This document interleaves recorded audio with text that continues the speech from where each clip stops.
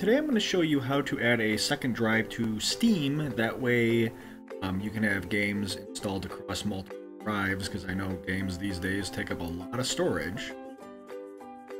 So first thing we're going to do is we need to set up what we want as the new drive. We're actually going to go to View, then we're going to go to Settings, and under the Download section you'll see Steam Library Folders, Manage Content Locations, Multiple Drives. I'm going to go ahead and select that. Right now it's just set to the C drive, and as you can see, since I have a solid state drive that's only 128.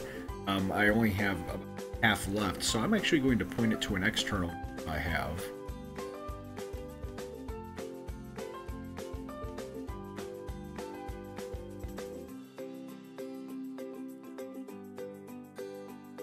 Get to E, folder, three, select.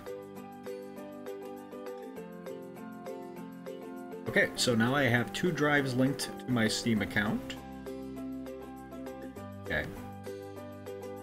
Library, games, I installed one on my C drive, and I'm going to just install Bad Hotel, and here I can select it from up down. Install it. So now you're downloading and running the game off of secondary hard drive. And that's it. That's just one more way to optimize your Steam.